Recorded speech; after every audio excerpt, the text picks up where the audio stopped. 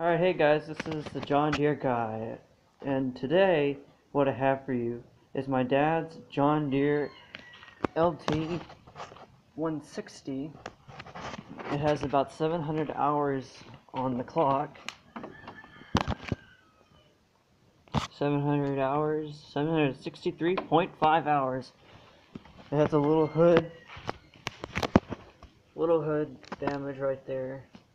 I mean, it's, these plastic hoods are, these things are kind of pathetic, to be honest. And so, yeah, it's 16 horse Kohler Command engine with a nice John Deere battery that we've only had to charge but once or twice because when you leave the key on, it drains the battery.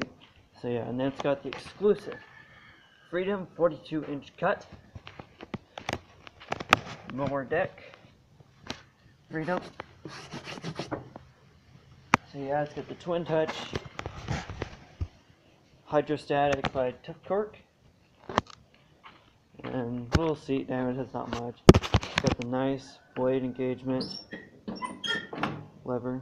So yeah. And this was owned previously by my dad's dad. So yeah, let's go for a ride.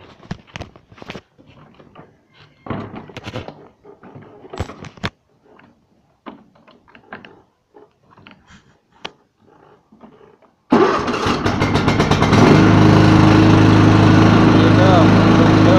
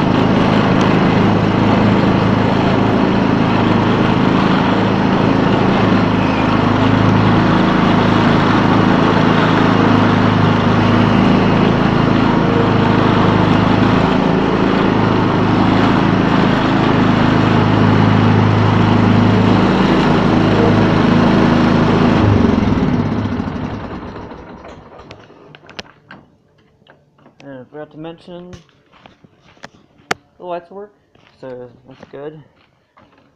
And so yeah, this, so yeah, I'll probably be making some other videos on the reasons that I don't like about some of these things. These newer things are they're wonderful when they work. But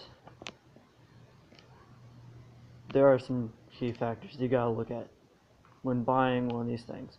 So yeah, they're good mowers all around, except for these goofy plastic hoods, which they grossly overpriced. So yeah, we all love it. It's always started when we ever need a mower.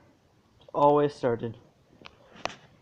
And one key factor is that yeah, it's you want to get a good sized gas tank. And yeah.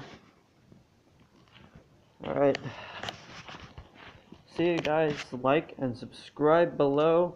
Comment on the video and let me know what you think. Bye.